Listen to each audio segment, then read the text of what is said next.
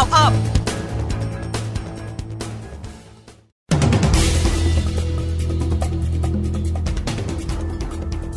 นาฬิกา6นาทีนายกรัฐมนตรีคุยโอมานเชิญชวนลงทุนโครงการระเบียงเศรษฐกิจภาคตะวันออก ชื่นชมบทบาทของโอมานในการเป็นสะพานเชื่อมโยงประเทศต่างๆ ในภูมิภาค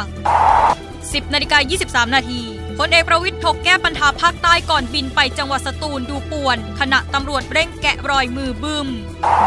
10นาฬิกา37 นาที เพื่อชาติอัดอภิสิทธิ์ยังกั๊กเหมือนเดิมพูดแค่หวังคะแนนเสียง ไม่เอาพลเอกประยุทธ์เป็นนายกรัฐมนตรี ย้ำจุดยืนพรรคอยู่ฝั่งประชาธิปไตยอย่างแท้จริง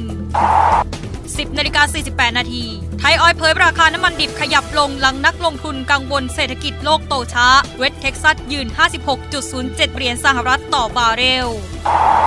ล่าสุด 10นาฬิกา53 นาทีโคราชแล้งหนักพระสงฆ์ต้องขุดบ่อน้ำบาดาลใช้เอง ชาวบ้านกว่า 200 หลังขาดแคลนน้ำใช้นับเดือน ต้องซื้อน้ำใช้ขยายวงกว้าง 3 หมู่บ้าน